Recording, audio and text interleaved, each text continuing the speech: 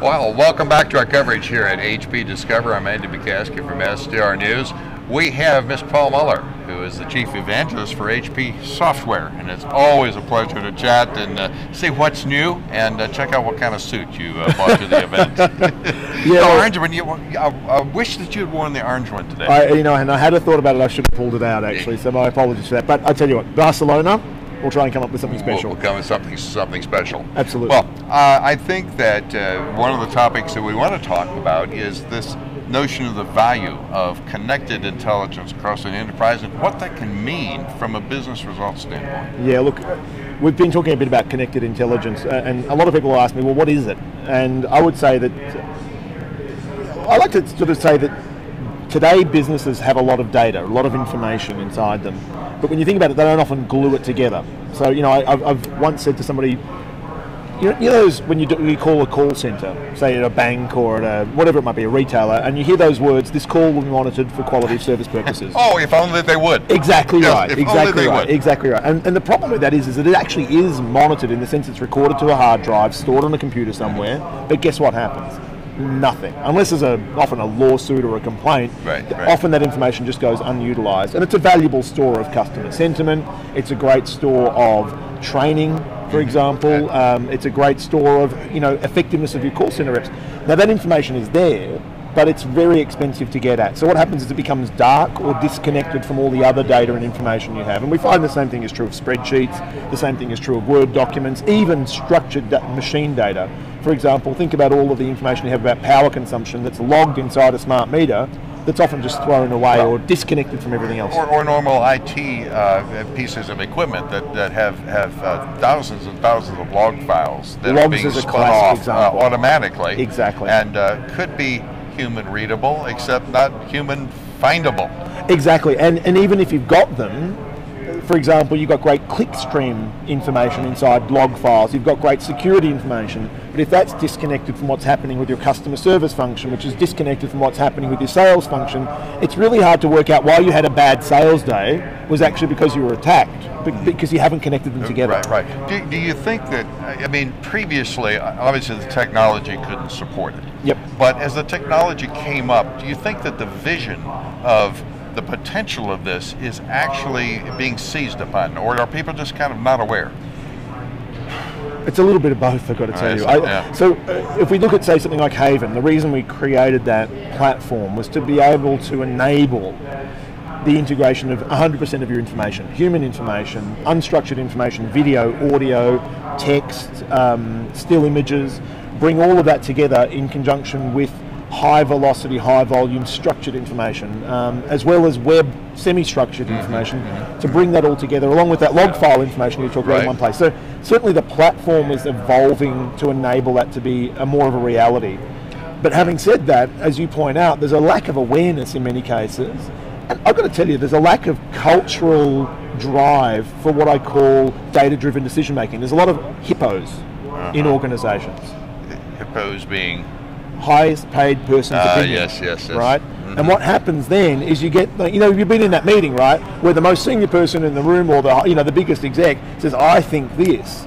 And when they say I think, what they really mean is I'm guessing this because uh, I don't have the data, right? It's there somewhere, but no one's bringing it to me. Sure. And that, that cultural process of, of saying, I don't care what you think, I want to know what we know, mm-hmm. asking that question, how can we find out what we really know, is a cultural change that I think is going to take all of us from the highest paid members of the organisation right through to the rank and file, we're really going to have to drive that data-driven decision-making process. Right. Well, in, a, in its recognition of the context in which a particular piece of data has, has been gathered, uh, uh, the most obvious thing I would think would be would be social media, where a particular comment could be a positive comment or a negative content, uh, uh, comment, yes. depending upon the context. Very, very true. I think you, you give a good example. Like, you know, I mean, in Australia, certainly my kids would say something was wicked. Mm-hmm. Right? And mm-hmm. now, wicked to you and me means something very different from what it would mean uh, to a younger person. Unless you're in New England, which uh, wicked does have that kind of so, so it, it, all depends. Exactly right. And context yep. is king.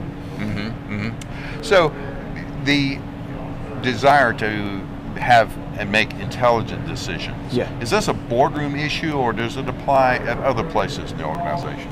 Well, as I was saying, I really think it is a, a matter of a cultural shift across the organisation. I, I think the boardroom, oddly enough, thinks they're making decisions with hard data but if you've ever been inside a large, complex organisation, you'll know that a lot of the time, the way they get that final spread, presentation or spreadsheet was usually as a result of somebody sticking their finger in the right. in the air underneath them and coming to them and saying, "Look, this is probably what the facts or are." Or making an assumption, or trying to smooth the data. Or interpolating, exactly. Or interpolating, exactly right. And and so what happens is a lot of the time the execs believe they're making decisions on the basis of good, solid, accurate data, but infrequently it's it's as I said, it's it's massaged uh, or as you say, interpolated, or or sometimes it's anecdotal.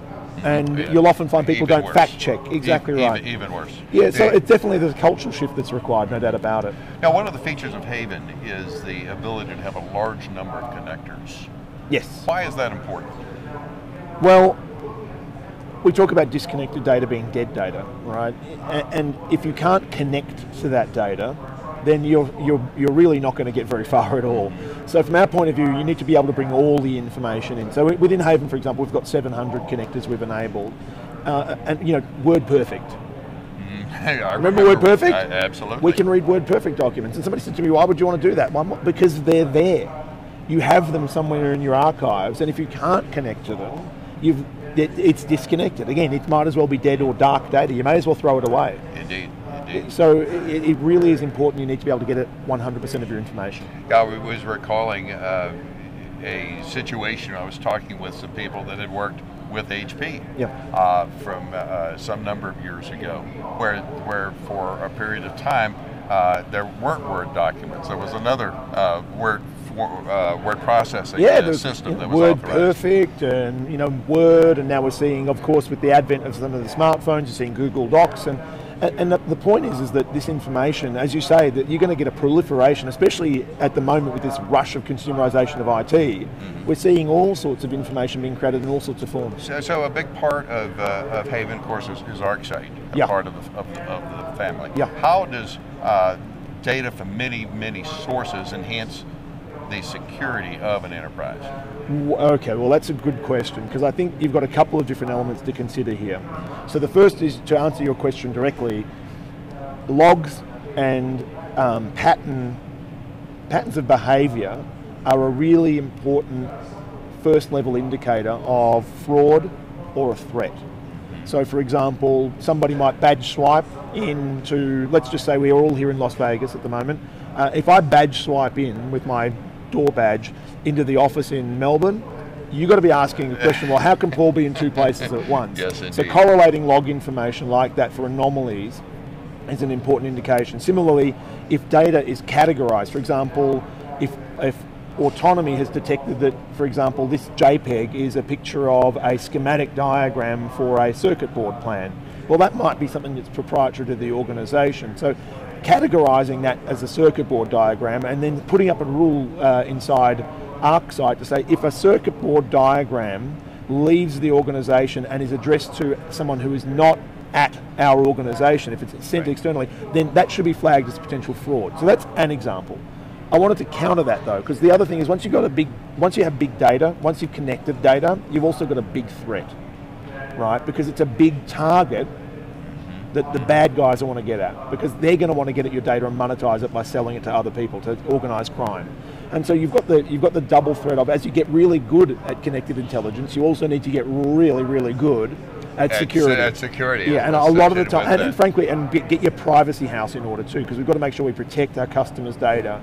So it really is important to make sure you're not just getting great at connecting the information, you've got to get great at protecting the information too, unfortunately. Indeed. So as uh, uh, people are thinking about their particular situation with yep. respect to the amount of data they have, how can HP help uh, them to examine that in a more structured way to, to get their, their thinking organized? And then what specific recommendations do you have where people should go to find out more about uh, uh, HP and big data? Well, so I mean, the word workshop gets overused in some cases, I, I think, in our industry, but I, I really do believe in this case that a big data workshop a Haven workshop is a great way to start to get some of our consultants in to spend time and understand because the word big data and, and even connected intelligence is going to get bandied around a lot. Right. But what I often find is when people say, "Oh, look, you know, we need Haven," you find out what they really mean is we've got too many logs. Well, there's there's a specific solution for that problem. It's very different from saying we've got a fraud and identity management problem, you know, or identity theft problem, or a customer marketing problem. So it's really important to characterize the type of information solution that you need, what sort of connected intelligence you're trying to enable, and then to build a solution that's appropriate for that because you want to show returns to the business right, really right. quickly. You don't want to have a you know, multi-year project analysis paralysis. That's not going to get you anywhere. Uh, and to your second question, if people want to know more, they can always go to um, uh, our weekly video show, which is, uh, and our, in fact, our, our, blog, which is Discover Performance, so hp.com slash go slash Discover Performance, which is full of great written and video content, expert opinion on all of these sorts of challenges. Excellent. Okay. Paul, always a pleasure to have a chance to chat with you. It's great to be here. Thanks okay. so much for having me again. Thanks very much. Have a safe trip back home. Thank you. Uh, more coverage coming up here at HP Discover in Las Vegas. Live streaming of SDR news coverage at HP Discover has been made possible by Intel Corporation. Check out Intel OpenPort IT, where you can connect with your peers at Intel on industry topics, best practices, strategies, and more. And by Microsoft, where HP and Microsoft are working together, combining their respective strengths to deliver innovative technologies to help advance your business.